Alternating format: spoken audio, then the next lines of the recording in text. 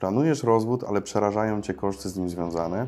Nie wiesz, na jakie wydatki się przygotować, od czego zależy jego ostateczny koszt. Musisz wiedzieć, że cena rozwodu to nie tylko opłaty urzędowe, ale przede wszystkim wynagrodzenie pełnomocnika. Jak obniżyć koszty rozwodu? Dzień dobry, nazywam się Kamil Jura i jestem prawnikiem oraz mediatorem rozwodowym w kancelarii Nowy Etap. Na co dzień pomagam parom rozwieść się szybko i bez zbędnego obciążenia emocjonalnego i finansowego w postępowaniu pozasądowym. W tradycyjnym procesie koszty rozwodu zwykle ciężko przewidzieć, ale można starać się je ograniczyć. A ja podpowiem Ci, jak to zrobić. W czasie rozwodu najwięcej środków pochłania jego obsługa prawna. Wraz ze stopniem skomplikowania sprawy wzrasta także jej koszt. Łączna cena rozwodu może sięgać nawet kilkudziesięciu tysięcy złotych. Każdy etap to inne opłaty. Pierwsza opłata, jaką musimy wnieść, to 600 zł za złożenie pozwu rozwodowego.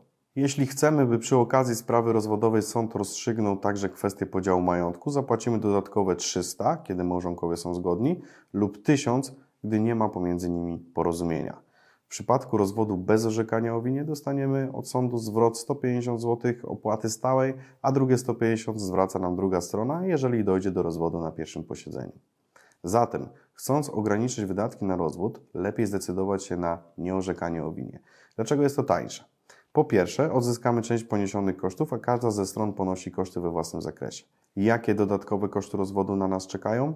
Obsługa prawna i opłaty urzędowe to nie wszystko. Na ostateczną cenę rozwodu wpływają również dodatkowe koszty, na przykład koszt opinii biegłych, wywiad środowiskowy kuratora, ale także te prywatne koszty, jak dojazdy do sądu, czy nawet zwrot wydatków dojazdu Twojego pełnomocnika. Generalnie, jeśli dokonujesz rozwodu z orzekaniem o winie oraz po rozwodzie będziesz przeprowadzać sporne postępowanie o podział majątku, to szykuj się na wydatek od kilkunastu do kilkudziesięciu tysięcy złotych.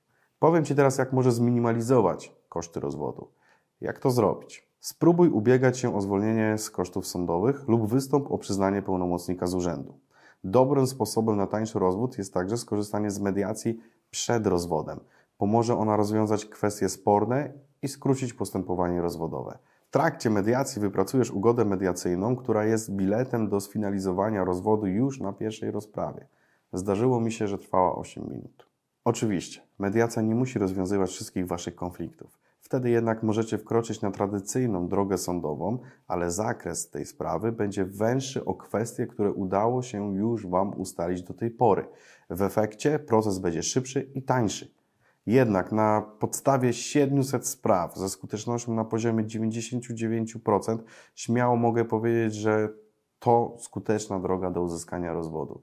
Jeśli chcesz sprawdzić, ile będzie kosztował Twój rozwód w postępowaniu pozasądowym, kliknij w link, który widzisz w opisie.